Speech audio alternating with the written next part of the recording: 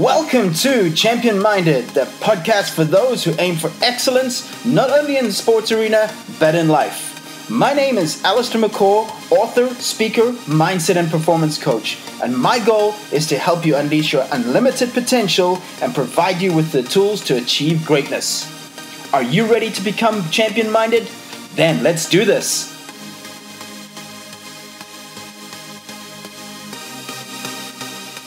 Hey everybody, welcome to the Champion Minded podcast, or welcome back to it. I'm Alistair McCaw. In this episode of What It Takes, I'll be speaking to Kate Richardson Walsh. But before we get into this really cool interview with Kate, I just want to say a massive thanks to all of you who have left a rating or review. Um, this one from 305 Beast Mode Fit, and here she says, I've seen her in person, read his books, and now I'm listening to Alistair's podcasts. As a fellow coach, I love hearing the different insights from players and coaches around the globe and throughout the sports spectrum. He's a preacher of positive energy, and it's always a good idea to tune in for some inspiration. Thank you so much for leaving that one, 305 Beast Mode. Uh, the next one is from Rodrigo. Uh, life changing. This podcast has added great value to my coaching style and life routines. Thanks so much. Uh, Top for 2323 says if you're looking for something positive to start your day or for, for motivation, this is the podcast for you. I've just recently found this podcast and I love it. And then one more Fudame uh, writes, Loved listening, easy to follow, and great message every time. Looking forward to listening to more to come.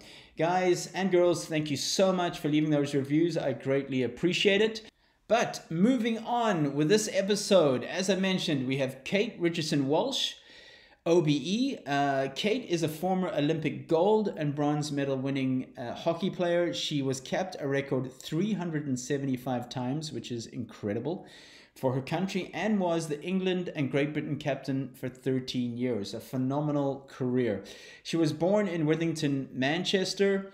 And in this episode, we get into uh, a lot of leadership. I really wanted to pick her brain on leadership because obviously being a captain of a sports team for 13 years is no small feat. We discuss setbacks and failure, how she dealt with those. The moment things changed for her in her career, some of her influences growing up. She also shares some advice on dealing with pressure, uh, what she misses most from her playing uh, years now, also being a coach, uh, I asked her what are two things she looks for in a captain and leader. Also, we discuss about having the hard conversations because, as being a leader, as being a captain, you have to have those hard um, conversations. And she gives some really, really good feedback there as well. Also, some fun questions at the end uh, that I know you guys will enjoy. But without further ado, this is Kate Richardson Walsh. Hey, Kate, welcome to the Champion Minded podcast. Thank you very much for inviting me on. Yeah, I've been listening to uh, to quite a few of your podcasts over the years, and um, I'm excited. So am I. So am I. Obviously, I've I've done a lot of research on you. I follow you on Twitter as well, which I have for for some time. Um, your achievements are astonishing. Also, we're going to get into a lot of leadership in this particular episode. That is one of the main areas I really want to focus in on you because you were the captain of uh, the GB squad, the England squad, for 13 years. Yeah, they couldn't get rid of me. Yeah. or no, nobody else wanted the job. I don't know. But, yeah. but besides that, I mean, I don't know anybody in sports who's been in the captaincy role for 13 years, to be honest, um, in a team. So first of all, that's that's phenomenal. But before we go there, um, the first question I've been asking my guests, especially in the last few months, is how has the last year been for you? We're still in the pandemic, so to say. Especially the UK is in probably the biggest lockdown in the world right now. I feel for you guys mm-hmm. in a way. Um, but how's it been for you, and how have you how have you been keeping busy? Yeah, I mean, my wife uh, also played in the national team, same length of time as me. So we did kind of joke that the the whole of our 17 year international athletics career was uh, kind of getting us ready for COVID and lockdown because, you know, there's, you know, enforced staying inside. You, you know, there's, there's rules that you, you can't break. You have to be able to manage your state, to be able to communicate that to somebody who you're in very close quarters with, and be able to function in a really small space. We're in a lovely place, but it's you know two bed flat with no outside space, so we are really privileged in lots of ways, but also you know that has its own challenges. So we do feel that it has been. It's, we've, we've gotten through it together. It's taken a lot of communication. We've got a 14 month old little girl. Helen gave birth to, to Piper. She is a. I saw that. Congratulations. Belated congratulations. Thank you. Yeah. So it's um it's been a blessing that we've been able to spend so much time with her and just watch her grow and develop and and learn. So that's been a real blessing. And getting any sleep, I'm sure. Obviously, that's that was a massive change in your lives. Yeah, like true athletes, we got her on a routine as soon as possible. So I, I, you know, after a few weeks, we were really trying to get her to, you know, because I feel like we have to teach them what is night and what is day. They don't know, so I, we just got her as soon as possible into that routine. And and also maybe it's just genes, but she is a really good sleeper. So she's been sleeping through from seven till seven, pretty much from a couple of months. So and sleeping in the day as well. So we are very lucky in that we keep saying I don't know how parents cope I don't know how they cope when they don't sleep because no sleep is like torture. And uh, the big question is, I'm sure you've had it. Is she going to be the next Helen or the next Kate? Have you already got her her first miniature hockey stick yet? she has got her first hockey stick, but we don't. We're not going to be uh, pushing her in any direction. We just wanted to just, you know, try lots of different sports. If sport is for her, great. You know, hopefully we can find. You know, there's so many hope she can find one that, that she likes and has fun with with her friends. Um, but if not, if it's the arts or whatever it is, um, you know, just to just to follow her passion and to be happy and fulfilled. I think that's our biggest aim for her. That's awesome. So let's go back to where it all began uh, for you. Obviously, um, you know where you were brought up, how you were introduced first into hockey. Did you play other sports? Um, how were your parents? So I'd love to get into that that that side of of your story. Yeah, so um, I grew up in Stockport, which is in South Manchester in the northwest of, of England.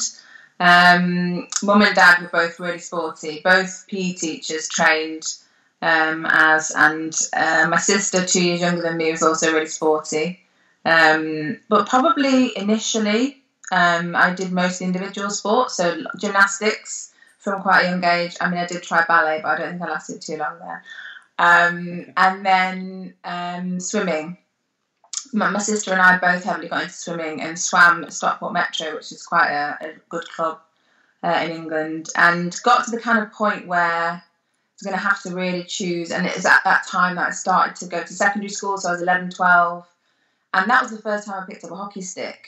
Um, so it was just in my PE lessons. I went to my local state school and had a really passionate, enthusiastic PE teacher who loved hockey in particular and just was just phenomenal at just giving that passion to everybody else. And um, I think that was just the, the most wonderful thing because my, my parents, of course, were really supportive and would have taken us everywhere, and they did. But I think having that that PE teacher to really guide me, to you know, put me in for trials, without her, um, and that support, I wouldn't have gotten onto the pathway when I did. So I started, yeah, 11, 12. Um, didn't go to any club until I was 13 and I went to my mom's club. Um, and yeah, played with the with the women, which was um, which was really was good. It's lots of hard lessons. I, I kind of feel like I learned to play the game, playing with those women, really experienced, much older, um, and the game within the game, kind of. You know, they, they really got it. And um, and you were you were around about thirteen at this this age. Yeah, thirteen. Yeah, so playing against adult women. So it was, you know, I was not particularly big or strong at this at this age at all, um, and so I had to learn to kind of look after myself and. Um, and how to hold my stature and, and be on the field, you know, be almost bigger than I was. So that definitely, I think, really helps. Um, and then got into the, the system, so got sent to county trials, which is just like local local trials. And I so I played for Greater Manchester, and then from there I played for the North of England, and then England Juniors when I was what would I have been 14 around the trials would have been. Um, and then yeah, 15, and was just I was just I was just in awe of, of everybody else. I, I totally felt like a fish out of water. I just was along for the ride, and you know, I thought it was going to end any minute. I definitely wasn't one of the main players who would stand out, who you'd kind of look at and go, "Oh yeah, she's she's definitely going to be selected." Um, and I was also kind of, I guess, fortunate in terms of where hockey was going. So hockey is a sport. Offside had been taken away, so now we had no offside and it started to change the skill sets, the ability of players that was required to, to excel in the game. It went from it is still a very technical sport, but it also then brought in an athletic element. Unfortunately for me, although I hated running, I cannot tell you how much I hated running when I was in early teens, but I learned to develop the the love or the discipline of, of running and found that I could get a headspace somewhere and get into it and, and go and, and do it, and that just helped me. And at that time, that's where hockey was going. So it was kind of just a really nice timing for me, and and I guess coaches who saw something in me that was going to be of the time, and believed in me and gave me that belief, and just kept putting me through for things. Mm. Now, obviously, going back to your parents, there, um, they gave you a choice to to you know be involved in various sports. You mentioned their gymnastics and swimming, and in fact, I always said if I had a daughter um, I'd want her to do swimming and gymnastics. And I'm not just saying that because you said it, because I find those two sports where, um, well, you know, all sport is great. Don't get me wrong, but um, especially gymnastics is is gives you a lot of confidence at a very young age. You know, it's something where you try at 14, 15. It's uh, something you don't want to do because the fear is already there. In, in other words, but um, just talking about your parents, how were they? Were they uh, very supportive? Were they were, were they pushy? How how was that? Because a lot of the times you see some, you know, an athlete who's made it. There's always been either both parents or one of the parents has been pushy, so to say. Yeah, I definitely definitely wouldn't ever. I never felt pushed. Um, I definitely felt supported, and, I, certainly if my sister or I just you know decided we didn't want to do that anymore, or if we weren't having fun anymore, I, I think they would have. Well, they would have noticed, but they also would have asked us, and I think they would have been totally fine with that. Um, I think they probably would have given us other opportunities to try other sports. With those two both being, you know, they played cricket, mum played netball, indoor cricket, hockey, golf, like you know, whatever was available. I think they had a go at. So I think they probably would have just tried something else. But we both, my sister and I, both fell into hockey and loved it straight away. So that was kind of deal done. Hmm. Were you someone from a very young age who set goals and set targets? I mean, was was the vision to be the player that you became? Absolutely not. No, not at all. You know, I look back to my younger days and I, I didn't really have any goals or ambitions at all. I didn't. I just didn't think that life was for me. I just felt like I was just going to go on the conveyor belt of life and like everybody else and just go through the motions and go to college, go to university, fall in love, get married, settle down. You know, and I just thought that was going to be where my life was at, and you know, I could watch the Olympics or and Wimbledon particularly and be like, wow, you know, they're amazing, but never in a million years thought that was ever thought that that was for me at all. So even um, though you were even though you were a, a good junior, you never watched the Olympics and thought, I want to be there. No, I, I, watched it and thought, God, that is amazing, and I would, I would definitely feel emotion. Like I vividly remember, um, you know, Olympic ceremony, medal ceremonies, and then when you know the BBC would play a montage, and you know, it'd be like the anthem, the flag going up, and the, the replay of the race, maybe it was athletic, and I would feel, I just get tingles now. I would really feel it and be just think, wow, that's incredible. Just, just, but just didn't, no, just didn't think that was for me. I wasn't I wasn't excellent. I wasn't, um, as I say, I wasn't a standout. So I think that just made me feel like it was for the other people who were better than me. Mm, that's very interesting. I mean, especially at that, that, that age as well. Where did it change for you where you thought this could be a career for me? This actually might be the, the, the direction I'm going in a full time basis, so to say. What, around about what age? I mean, it wasn't an opportunity to really be a full time basis until goodness until the the London Olympic Games. I would have been 29, but there definitely was a point, uh, and it did come fairly early on. So I was, as I said, I played for the England under 16s when I was 14, 15. the next year, when probably I was the right age to be selected, um, I got dropped, and it came as a real shock. Um, because I've been in the year before, you know, I don't know, maybe I got a little bit complacent. I mean, I certainly wasn't doing anything good for my body, for my mind, in any way, shape, or form. And I remember the letter coming through the post. I remember opening the letter at home, just seeing a list of names, and my name wasn't on there. And yeah, I still, I still now today get emotional about it. I've still got the letter as well. Um, and I remember running upstairs, and eventually my mom kind of sat me down and said, you know, what do you want to do about it? And she comforted me, and she, you know, she cared for me, but she, she ultimately she said, what do you want to do about it? And it was just the best question because it wasn't what my mum or dad wanted or anybody else. It was I had to ask myself that question, and through some support through of my coaches and my parents, I over that summer started to answer that that question and and realised, yeah, I really want to do this. I want, I just want to be the best hockey player that I can be. And I think that's all I really was focusing on. Um, but I knew that was going to mean making different choices, better choices. Um, I went to a different hockey club that was in the top league, so I could train with some of the internationals, be coached by the England international coach.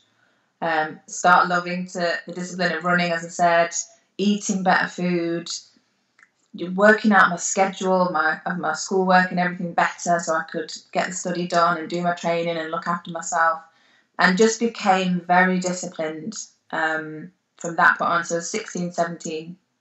Would you say that was the turning point for you of, of receiving that letter? I mean, I can relate to you because at the end of the year, getting my report card in the post, I would either try and make a plan that it would disappear, or it was just that fear because because academically I was not not not great. So it was that that fear. But um, would you say that that was the, the, the turning point for you in your career of saying, okay, I've come to the fork in the road. Now you know, as as your you, you had that discussion with your mom. Now you make a decision. Yeah, one hundred percent. And I'm in some ways I feel really blessed and lucky that it happened then when it did. So that that you know that just really and the and the support as again that made me really decide what I wanted to do and how I was going to go about it. And I think all of that thought process, you know, at a relatively young age when there's a lot going on, 16 or 17, um, and I think some of the things I had to say no to at that age and and turn away from actively, um, I think that just really gave me fire. Did you see those as sacrifices or, or more as choices? yeah, uh, choices. I always say choices. I, I, never felt like I was missing out on anything. I, that's and, and maybe that's what made it easier. And maybe you know, having made those choices and gone and started going down that path, I didn't ever look back and think, oh, I wish I was doing that, or God, I'm missing out on that. I just didn't think that at all. I just thought this feels right and good to me, so let's just keep going. Hmm. Now I want to get back to setbacks because that's obviously an important area because in sports there's so many setbacks that can happen from, as you mentioned, they're being dropped from the team, injuries obviously being the biggest one um, of how to handle that. But let's let's stay basically a little bit with your, your upbringing and influences. Who were who would you say were your, your you know you mentioned just before we got on the call um, one of your your teachers or actually maybe you did mention it on the call. My apologies. Um, one of your teachers was uh, an influence on you. Who, who else was an influence in your career growing up? So, yeah, definitely my parents and my sister, who was also a phenomenal hockey player. She also played internationally. Um, I guess my the, so when I moved to that club, um, that was in the National League, there was a group of us, probably six or seven of us, similar age, who were all vying to be in the junior international teams and were really trying to push to get into that into that first team at that club. And I think just being around some peers who similar age, similar drive, had been making similar decisions and were, and could have fun together. I think that definitely really helped. Um, and then the coach of that club, Maggie Souyave, who was the England coach at the time, um, she just saw something in me. Um, and yeah, just really instilled instilled that belief. I remember asking me a question. I must have been seven, yeah, I was seventeen, and she turned to me and said, "You know, what's what is your ambition?" She was a very serious lady. She is a very serious lady, and um, I thought I really have to answer this question well. You know, she's she's the England coach. She's my she's my club coach. And I was like, okay, I'm going to be ambitious. I was like, I'm, i want to try and get in the under 21s, England under 21s. And she just turned to me and said, you need to be focused on going to the Sydney Olympic Games. And I was like, yeah, I thought, okay, whatever. I, I'm not really, I'm not fully behind that at the moment, but just her saying that to me gave me the belief that that I could. She believed in me, and it gave me that belief from that point on. Mm, we all need someone to believe in, isn't? It? I think I think the most four powerful words in coaching and mentoring are "I believe in you." I think you know, as coaches, we you know you're you're coaching now, correct? If if I understand, yes. yeah. So and we're going to get into that as well, but you know. We have no idea, especially working with young kids, what type of families they're coming from, what chaos they're possibly coming from. You could be that only person that actually believes in them as as as unfortunate as that sounds. I mean in in coaching we hold such a responsibility. Uh, you know and this is what i try and share with other coaches is that you could be that child's only hope. Now that wasn't your case. You had loving parents you had a sister you had a, by the sounds of it a, a loving um, family. But um, in coaching it's so important that we don't know what that that child is coming from. No. Every leader leaves a trace yeah. and whether you like it or not, and whether you think you're a leader, you are leaving a trace. Exactly. Yeah. For me personally, my influences were, were my, my mother, who was a, a great 400 meter athlete. She trained under Mary Peters. Now that might be way before your time, but she was an no. Olympian in Northern Ireland. I was born in Belfast actually, and um, that, yeah, that's where a little bit I got my genes in running. Thank, thanks to my mom. She was a, a Commonwealth Games uh, um, uh, trialist in 400 meters, so she had a good good level. Um, but and, and also a, a, track and field coach, um, Caroline Foster, growing up as well. They were both the same, cut from the same cloth. I don't know if you you, you will know Pat Summitt, the, the legendary basketball coach. Uh, has a fantastic book, one or two books out as well, which I recommend everybody to read. But she's one of my, or, or still is, even though unfortunately she passed away a few years uh, one of my um, people I, I, I, look up to and, and, learn from still, and I still watch her videos.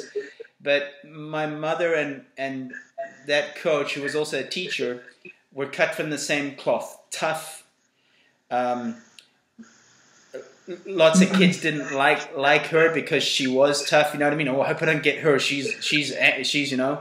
But I wanted those teachers because I knew that discipline and that toughness would make me would make me better because I was brought up in that in that so to say. So those were two definitely massive influences for me, which I still take to today with that that level of discipline. You know, so. Most grateful. But moving on to your playing career, tell me what it was like when you first got invited to the first, obviously, senior camp. Now you're in the, the GB team. How was that experience for you? Were you incredibly nervous? Were you anxious? Or had you already spent enough time around those people to be comfortable? Yes, uh, I was definitely nervous, but I think having gone to that club and been training with international players, I didn't go alone. I think I even travelled with, with one of them to the first camp. Um, and that certainly made me feel like I belonged a little bit. But I do remember kind of turning up and seeing, you know, some of the players that obviously I was playing against in the National League, and you know, and some people like Jane Sixsmith, who in, in Great Britain was just, you know, an icon in hockey and was one of the first female hockey players to kind of break out into the media, was on TV. So, you know, I would have watched her on TV and, and so seeing her for the first time and thinking I'm in the same team as her was definitely daunting. But they were all, you know, they were all really welcoming. Um, and I know in some way, some crazy way, I kind of missed that that bit of anxiety and nervousness a little bit. There's something I don't know. There's something quite exciting about that. What's to come? You know, you don't know. And it, I think that I think that was in, almost now looking back. I think, oh, that was a nice feeling now. What comes to your mind when, when we say nerves? Obviously, a lot of junior players, athletes listen to this podcast. Everybody suffers from nerves. Some it impedes their performance, some it helps their performance. When we talk about nerves, what do you think and what advice would you give? I mean, straight away when you said nerves, I thought breathe. Um, and that is something that I learned, or it's kind of a method or a tool, I guess, that I use to focus on my breath because I noticed that when when I'm nervous or I'm anxious, I, I tend to hold my breath or have very short breath. I'm not using the full lung capacity. And my, then my, my shoulders go up, and it really affects my body language, which affects my, how my mind's working. And just by calming my breath down and being in control of my breath, I found that I could just breathe through it and, and actually feel the nerves and actually just acknowledge that they're there and they're there for a reason because you really care about this and you've trained really hard for this and this matters. So, yeah, you're nervous and you don't really fully know how it's going to go. Nobody can predict the future. You can you can make plans and you can do all the training and leave no stone unturned, but ultimately you don't know how it's going to go. So there is going to be nerves, and that's almost it was almost a worry if they weren't there, to be honest. And just that breathing, you know, I'm thinking about me in the tunnel just before we're going to walk out to do the anthems, maybe to, to start the game. That was the moment I really just just gave myself that moment to, to breathe and regulate my breathing. Mm. What advice would you give a young athlete um, who gets incredibly nervous before competing? Is there one or two tips, advice? Obviously, you gave breathing is a great one. Is there any anything else? Yeah, I think for, for me, I would I just tried to focus on all the work that I've done, and you know that's given me the foundation to go and deliver my best on this day, whatever that might be. All I'm going to do is going to go out there and I'm going to try my very best. And nobody can ever ask any more of you than that. Yes, I'm going to make mistakes. We're all going to make mistakes that's human nature. That's part of life. I'm I'm just gonna still gonna pick myself up. I'm gonna go again, and I'm just gonna keep giving my best and trying my best. And I think once you know whatever ha- whatever the kind of result is, whatever happens, if I can come off and I know I've done that, then I can be happy with myself, which is the most important thing. And so can my teammates or and coaches, etc. But first and foremost, it's got to be you just being happy with your own effort and, and input and dedication to, to doing your best. Mm. The second word is failure. And we know that anyone who's reached a, a, high level of success in any particular area, you know, a great example is yourself, has experienced failure. What comes to your mind when you hear the word failure? I thought springboard. That was a word that popped into my head straight away. Um, because, I mean, I have experienced way more failure. I mean, I don't even, I, mean, I should probably work it out, the percentages, but I've experienced so much failure and the real lows um, of you know not qualifying for the Olympic Games, um, playing off for last place at a World Cup, losing seventy percent of our funding as a sport. You know, just real abject failure. And in each of those moments, it has, it has springboarded us into something incredible. So I do I do feel like I think I had a poster when I was younger, uh, something along the lines of um, positivity is making the best out of whatever the situation you're with you which with which you are dealt. And I think that's kind of how I tried to frame failure. Not immediately, obviously, I felt the failure deeply, and I had to go through the whole grieving process. But I think off the back of that, there was always learning, and there was always, always growth. Um, and so now, you know, a bit older and a little bit wiser. Um, I try and keep that in mind, you know, when I'm going through them, still going through them, still go through some tough periods and some challenging times, and it's it's just keeping somewhere in the front of my mind. This will turn around, and you will you will grow from this, and you'll be stronger as a result of what you're feeling right now. Excellent advice. The third one is pressure. What comes to your mind when you hear the word pressure? Because obviously, at, at, at especially elite level that you've played off, there there is pressure, a lot of pressure. Yeah, emotion. Um, I'm a really emotional person, um, and under pressure, I only kind of really realised latterly in my career because of the coaching that we had and the training that we did, what impact my emotions were having uh, on me and on my performance in a pressured situation, but also what impact they were having on my teammates and people around me. Um, and so we did some really good training with our coach Danny Kerry in the later years, the last seven years, um, really focusing on can how can I manage my state uh, under pressure? Um, how can I use my emotion as a as a strength, as a powerful tool, um, but absolutely to kind of harness it and not let it run away with itself. Mm, good advice. Uh, let me ask you this: resilience and grit. Where does that come from? Why are there some players that are just hard as nails, tough, never give up, and some who we've obviously seen are more talented but are, are quit earlier, quit easier? Where, where does resilience and grit come from? I definitely, I mean, I, I have got literally got the book on my shelf, grit, and I've not read it yet. I need to read it, and that might. Oh, don't worry, I've got I've got two hundred unread books up up here, so. Okay, good. I don't feel so bad.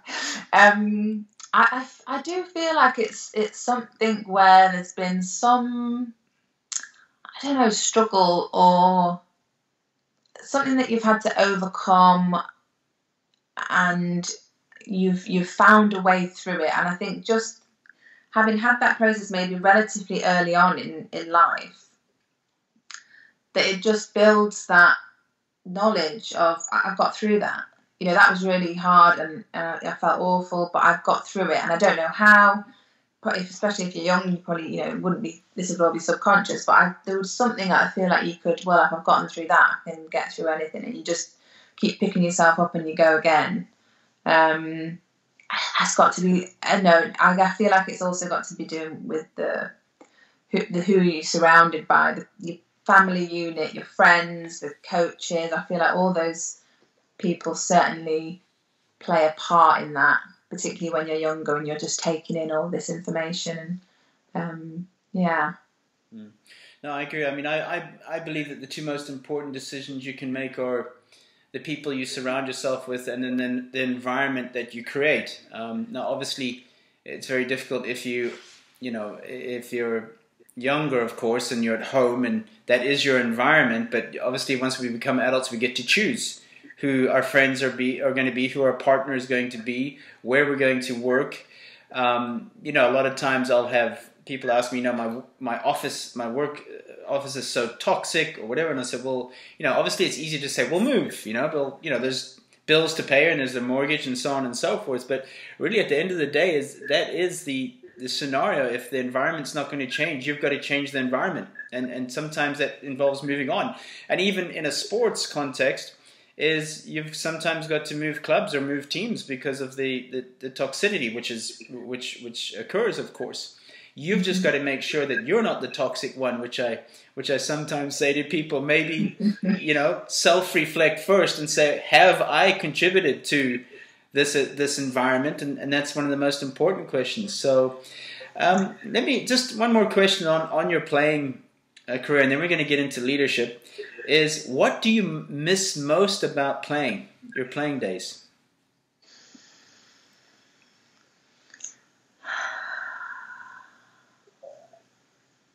I don't the all of it. I mean, the I think the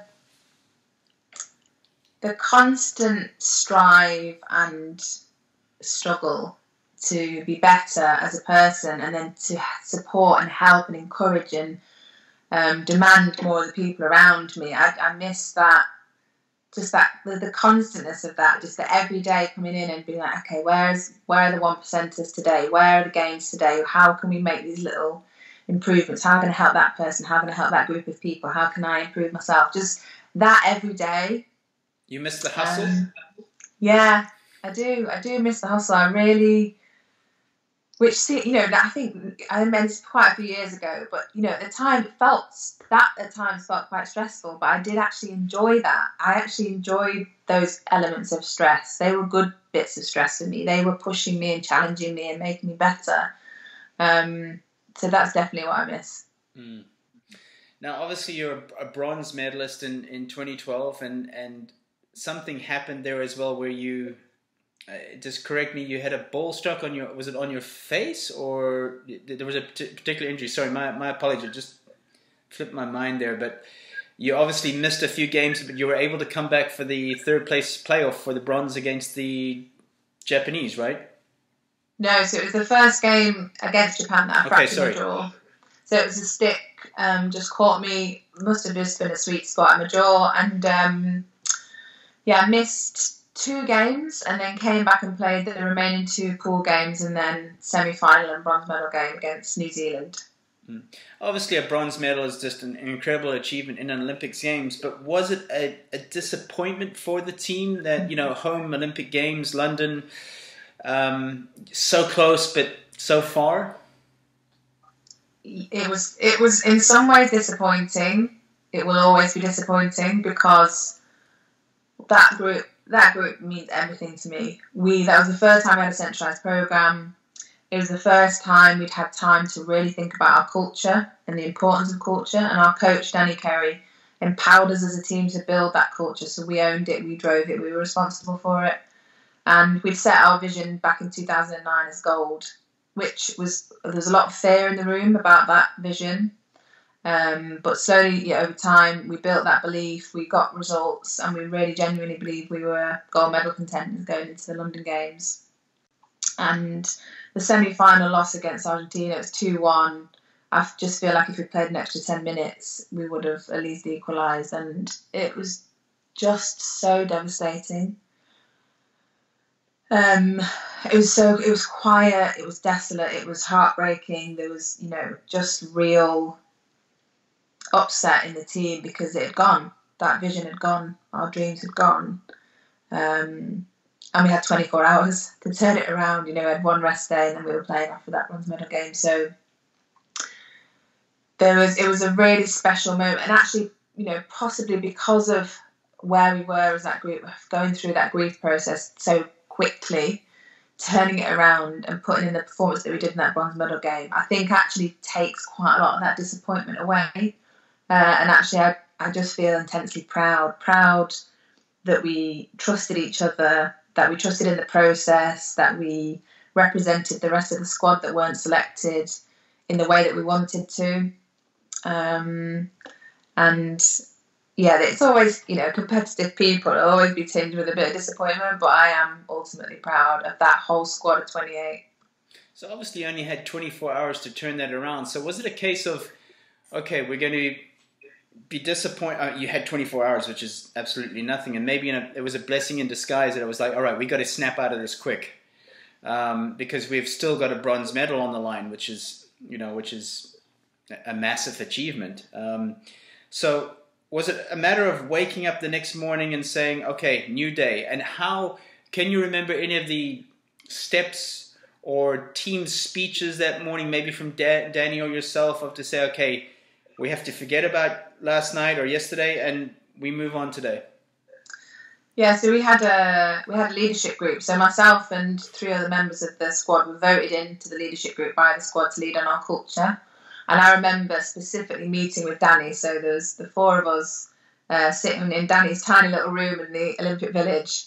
Um, this was straight after the, the, the, the, game against Argentina, or was it? I think it was the next morning. It was early next morning. Okay and he wanted to get the, the group together and, and as you said, you know, it's, you know, kind of rally the troops and say, okay, we have to put that to bed. And and actually, we felt as a group that the team just needed to heal itself, and that there needed to be an element of trust in people as individuals that they would get themselves right, um, and that actually almost kind of after the the night of people processing it to, to almost revisit revisit it that way the next morning would actually just take us all back a step.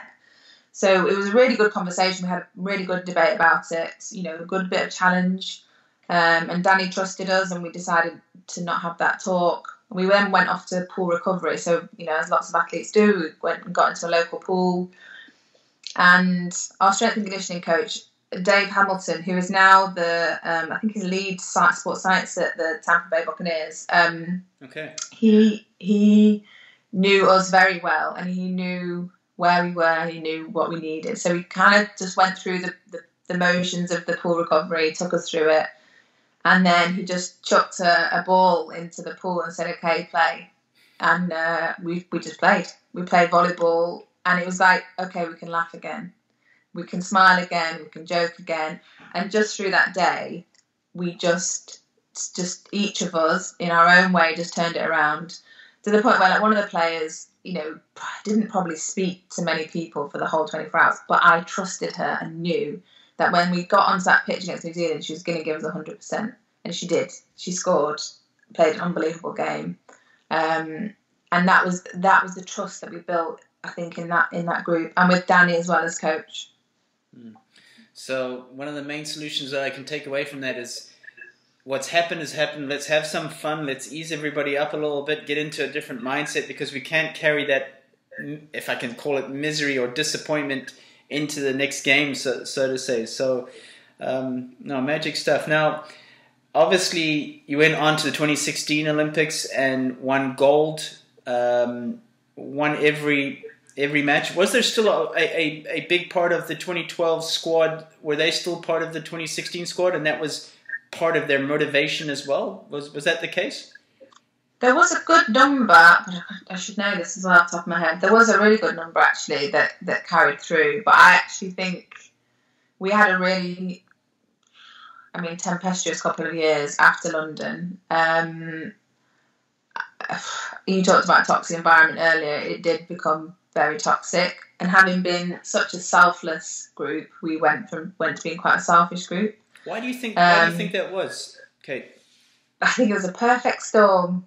Um, we we we didn't respect and fully acknowledge what we'd created in the lead up to London, particularly around the culture, behaviourally, um, and how it was led um, by within the team and driven within the team.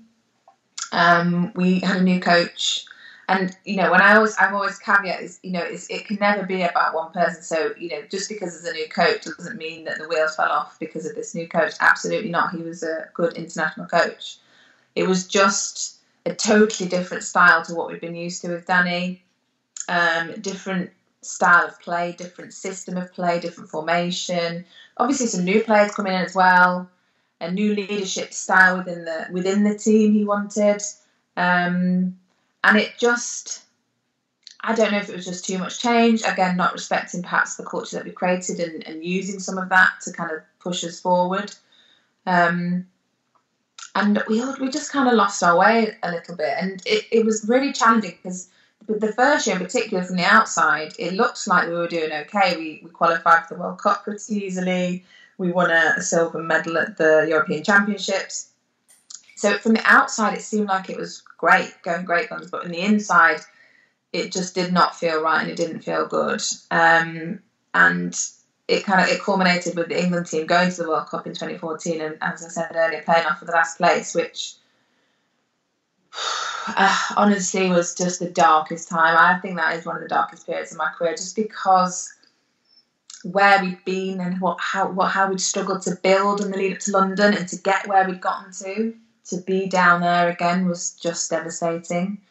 Um, and probably personally for me, you know, I, was, well, would have been 34 at that time, just feeling it in every sense and feeling the, the failure as, as the captain and the leader of that team as well, just really feeling it all. Um, and I lost my way a little bit, as lots of us did at that point, and I needed to take some time away from the squad and um, and reflect and, and find myself again. And Danny Kerry then came back in as coach um, and led us to, to Rio. And after a lot of hard work and resetting of our culture, the, the rest is history. I mean, it just looks like the perfect competition. I mean, undefeated throughout the whole tournament. Obviously, beating the Netherlands in the final. I lived I lived in the Netherlands for um, for a few years back in the early 2000s, and they were just a, you know, a powerhouse in Holland, and the publicity they got on, on, on television every day it was massive. You know that and that and uh, obviously a big sport in, in Holland is skating, indoor skating, and you know they call it schaatsen. Uh, but but the hockey as well. I just remember um, the amount of publicity they would get there as well. So yeah, mm-hmm. massive. But that's that that was just an incredible 2016 for you guys. So I'm sure that was a massive relief as well. Yeah, huge relief. Um, you felt like 17 years of trying. You know, Sydney was 2000, you know, 16 years. Sydney was year 2000, all the way to 2016 to finally, you know, go and achieve that gold medal. And you know, the Dutch were going for their third gold medal in a row. Just a phenomenal, as you said, just phenomenal hockey playing country and a phenomenal women's team um, over that what, 12 year period. So, yeah, it, it, felt it felt really. I felt so proud. I felt so proud that we turned it around as a as a group of women and our coaching staff. I felt really, yeah, I just felt like we we'd we'd worked so incredibly hard, and I and I felt very proud. Excellent. Going on to leadership, and um, obviously, I'd love to go here because you were the captain at the young age of 20, 23 and obviously there'd been players in the team that were far more experienced than you and and so on and so forth. But you went on to, to captain the team for 13 years. As i mentioned at the beginning was i mean a phenomenal uh, amount of time to be to be a captain. What were some of the qualities that you felt that you had as a captain? Now i know it's it's not easy to talk about yourself and say well i was good at this i was good at that. But maybe some feedback you had from players who said you know you're really you're really good at this or good at that. You know, I know it's not easy to talk about yourself, but because you are you are super hum, humble and you have a lot of humility. But what do you feel um, were your strengths in in leading a team? I mean, to be honest, when I was 23, I really did not. I was voted in by my teammates as well, um, which was a massive honour. And to, the only thing I really kind of clung on to at that point was the was how I really push myself to set a good example, to set the very best example that I could. The, and I think players saw that in me and then kind of wanted to follow me in that regard, but then also was always an allowance there that I could then challenge them because they knew that I was challenging myself hard every day to do my, you know, work harder in the fitness training, push myself and, and learn and grow and to make mistakes and and improve um, in, in in a hockey sense. I think they saw me doing that, and I think um, then allowed me to then challenge them to be better as well because they knew I, I really just wanted the best for them. I wanted the best for the team, um, and in the particularly in the early days, that is all that I thought about and all that I you know really thought about my leadership. Um, did you have a mentor? did you have a mentor? So, sorry, did you have a mentor in a way to help you lead, lead the team? That would have been really helpful. Um, no, no, no, no. And I really wished, I really wished I'd had in a way. But I, I guess I don't know. We find our own way, don't we? I, I, I became quite obsessed with learning about it, so I started to read lots of books and on leadership, but also around culture and the importance of culture and how leaders can, can lead on the culture and what impact that has on the team and on performance. So like I mean, that pretty old school books like Bill Walsh's book and um, The Scoreline Takes Care of Itself and um, Phil Jackson's book Eleven Rings. Like I loved both of those for different reasons. It was you know similar in terms of how you how you look after yourself and how you look after your people and what it says about you and the values that you have and how you bring them to the fore as a leader.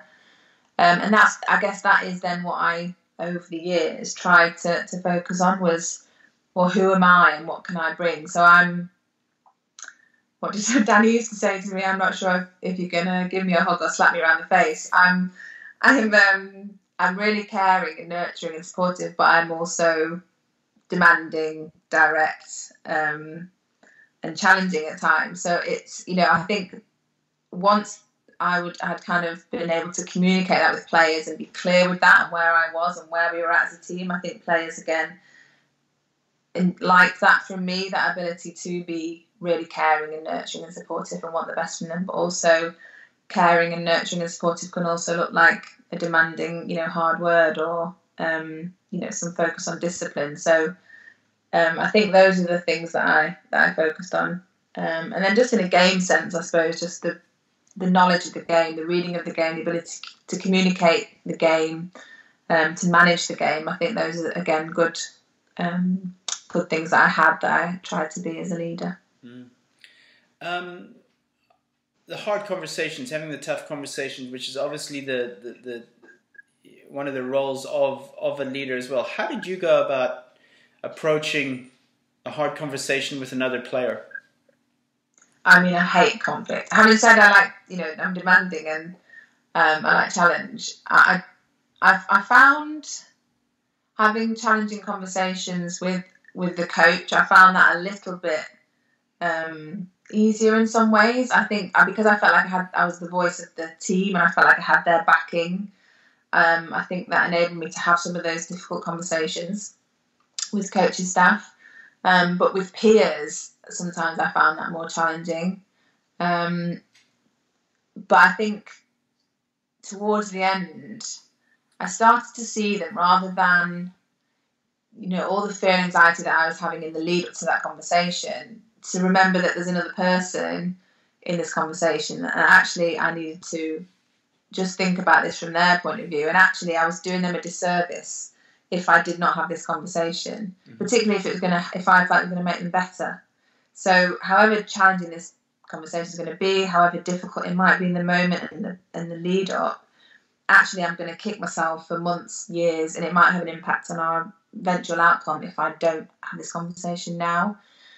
And I think that was kind of instilled in us in the team as, as well. In lead up to Rio, we had a we had behaviour statements, and one of the statements, um, one of the behaviours was we stamp out fires early, and that kind of plays into that. You know, what was that? Sorry, what was that again, Kate? Sorry. We stamp out fires early. Okay. So it's um, just that ability to there's little sparks going off all the time in a team because we're all different, different opinions, different points of view, which is good. You really want that. You need those little sparks. But unless you have time and space to air all those grievances and bits of friction and challenge, unless they are aired um, under the pressure of a tournament, Olympic Games, they just become massive raging wildfires.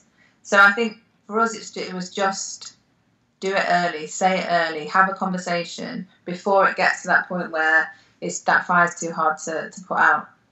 Um, and so we, I think that's kind of what everybody bought into uh, in the team.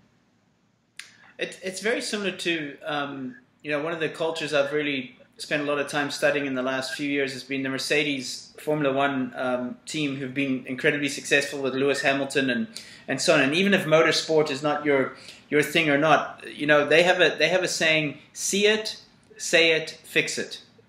And it, it sounds very similar to yours as you know stamp out fires early. If you see it, say it. You know, let's let's let's talk about it. Let's get it out of the way. But I think you're absolutely right. Is that that's where most problems fester and and and grow. Is that they're not addressed. They're type of swept under the carpet, and they're we hope that will go away, and they don't go away. They actually grow. Um, I mean, it's it's a great lesson in in in relationships as well and partners is that you know it's the same thing. If, if you let something just go it's going to become bigger in the end. So um, you're now a coach. What are two things that you look for in a captain?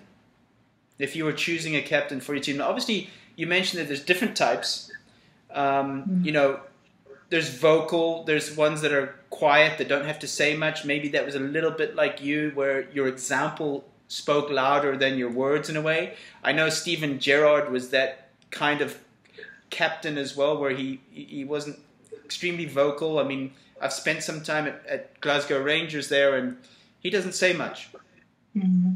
But when he does talk, people listen, and you know, mm-hmm. he's, that's his style. So, what do you look for in a captain? I, I, do think setting an example. I do think that's imperative. I think it now as a, as a coach, I'm still you know I'm a leader. and I need to set the example. If we've decided what we want to be about as a team, what our values are, and what our behaviours are, I need to to lead on that. I need to role model those behaviours and values and, and be about that. So I do think setting the example for me is really high on the list of things that I look for. And then and then I just think an authenticity. Um, that it's it's it's really them. It is again who they are. It's they're not trying to be something else. Um, it's really genuine, authentic, and because uh, I think I think people will follow that. Um, I think if it's you know this is what I think they want from me, or this is uh, this is the mask I'm going to put on today because this is what they need from me. I think people see through that over time. So I, I, um, I think that's I think they're yeah, I'd say the two things. Yeah, I think it's very much like like children as well, and obviously you're going to experience this in the years to come. Is that they don't necessarily remember your words, but they remember what you did. So actions speak louder than words, for for example. So um, good. Obviously, want to be respectful of your time. It's Friday night there. I'm sure there's nothing more you'd rather do on a Friday night than be on a podcast, Kate. So uh, thanks so much. Um, one or two last questions if you could change one rule or something in hockey today, what would it be, Oh, that's a good question. if any? Ah, um, do you know? I'm not sure I'd change any. I think we, I'm in. I'm actually on the athletes commission for the International Hockey Federation, and this this is um, a topic that's discussed reasonably regularly. And actually, I think we've had so many rule changes um, over the last I don't know decade, maybe 15 years, that actually I think we we should just consolidate where we are. It's, it's such a fast game. It's an exciting game. There's lots of goals. Um, I think we're growing still with, with tactics, and as new coaches come through with fresh ideas, they're changing the game and they're changing the way the rules can kind of be adapted a little bit. So I think I think we should I think we should keep keep where we are personally. Very well answered. All right, final part. It's quick fire questions. I'm going to put you on the spot here, so you're going to have to answer quick. You can answer either one word or a sentence. Are you ready? Oh, Yeah. Favorite food? Curry. Uh, favorite city visited? Seattle. Interesting. Was it raining? Does it always always? Good chance. I think it has the highest rainfall in, in the United States. Um, favorite music or group, band, musician? Oh, that I love all music. Um, I'm gonna say hip hop. Okay. Uh, favorite movie? Oh, love Actually. Okay. Favorite cereal? God Lord. Um, cornflakes. Really boring. uh, favorite book that you've read? Oh, that's so hard. I mean, Memoirs of a Geisha. I absolutely loved. And book you're reading right now? Um, what am I reading right now? I've just finished Glennon Doyle's Untamed. Um, I think it's a book called Trans Like Me. I can't think of the author, but it's a it's about trans men and women and that whole experience. So I'm really interested in that. Okay, interesting. Um, I'm usually one of those people that read three books at once, so I'm in the mood for that one. I'll read a bit of that one. Um, you know, I just can't read one book. But like I said earlier on, I have I have this bad habit of ordering books and they just pile up and I never get to read them. So anyway, um, favorite sports event on your bucket list you'd love to attend? Super Bowl. Super Bowl. Yeah. Interesting. I didn't expect Uh, that one. I'm a 49er. Okay, San Francisco. Yeah, amazing city, huh? Yeah, amazing. Very expensive. yeah. um, favorite sports team besides GB hockey England, but but favorite sports team. Manchester United. Oh boy, I think we're going to have to end this pretty pretty early. So I think Tr- Tracey Neville will be very happy to hear that, Kate. I know, I know. Pele Mancunian. Oh man, lunch with any person, dead or alive, who would it be? That's really hard. I'm going to say Michelle Obama. Nice choice.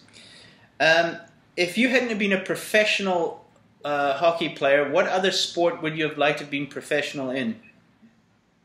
Ooh. Or athletics. Yeah, 200 metres. Track? Yeah, track, 200 metres, definitely. And that's coming from someone that, that said a little bit earlier that they didn't enjoy running. Yeah. And I learned to love it, and 200 metres was my distance. It's not too far, it's not too short. just in, just enough around the corner. Yeah. Yeah. Um, final question is, um, in your opinion, what does it take to be champion minded? The discipline. I think the discipline to make the choices, to feel like the choices, not sacrifices, to go all in on something, regardless of the outcome. I think that takes discipline. Love it. Discipline and all in. This has been amazing. Um, as I expected it would be, Kate. Thanks so much for taking the time, especially on a Friday night. Um, but if there's uh, some of our followers that would love to um, reach you or, or, or, follow you, what's the best way? Do you have a, a website or on, on social media? Social media, um, Twitter, I think it's Kate Walsh eleven. You're asking me now questions that I'm not sure. I can I can have a look as well and, and, and include that. So Instagram, I think it's Kate Walsh eleven GB. Uh, Kate, thank you so much. I wish you all the best for, for the year ahead. Yeah, thank you so much. Uh, but, but yeah, talking to me, as I said, I've heard so many of your podcasts, and it feels like a real honour to be on that long list of, uh, of amazing interviewees. So thank you for your time. So there you have it, guys. I hope you enjoyed that one with Kate. Uh, those social media accounts again, her Instagram is Kate Walsh 11GB and her Twitter account is at Kate Walsh 11. I really enjoyed that interview with her and uh, I've really enjoyed following her as well on social media, so I hope you guys do too. As always, this podcast is available on iTunes, Amazon Podcasts, YouTube, and via my website, alistairmccaw.com. All books available on Amazon. As always, remember you were made for greatness. Now go do the work. Stay champion minded.